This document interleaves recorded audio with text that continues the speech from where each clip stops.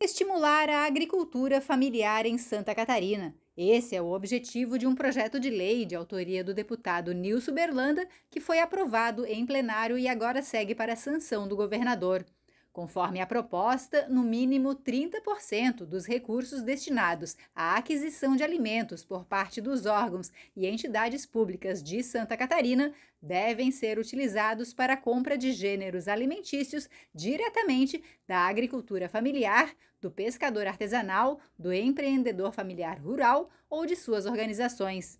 O parlamentar comemorou a aprovação da proposta, que inicialmente previa o percentual mínimo apenas para os estabelecimentos penitenciários do Estado. O governo do Estado, as comissões entenderam que a gente poderia ampliar isso para os demais, as demais áreas públicas do Estado de Santa Catarina.